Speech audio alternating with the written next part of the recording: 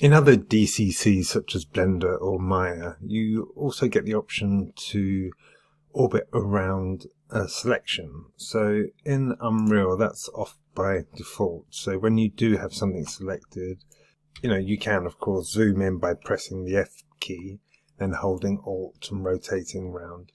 But sometimes you want to do that a bit further out and that can be problematic if the object isn't in the center of your viewport.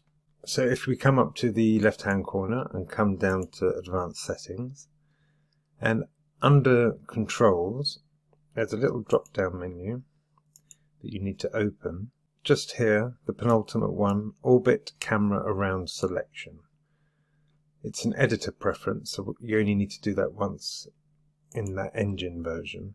So if I select an object even off center and hold alt I can now orbit around that object